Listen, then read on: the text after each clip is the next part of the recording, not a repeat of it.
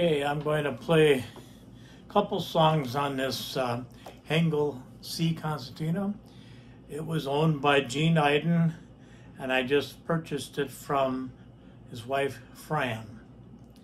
And the first thing, first thing I'll play is the Echoes in the Hill uh, Landler, and it's and it's a uh, uh, tune.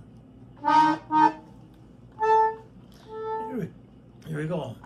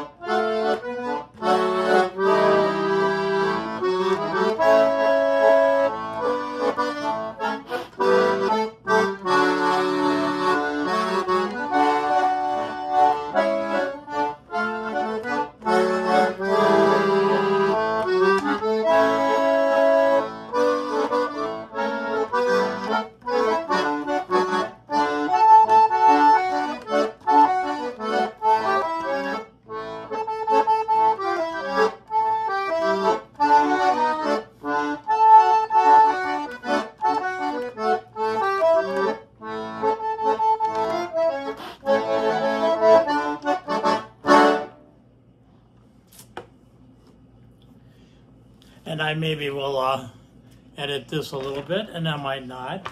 And I'm going to play a uh, polka. This is called the Beer Bucket Polka.